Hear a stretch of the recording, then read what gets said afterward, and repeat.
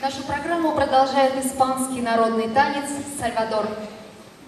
Thank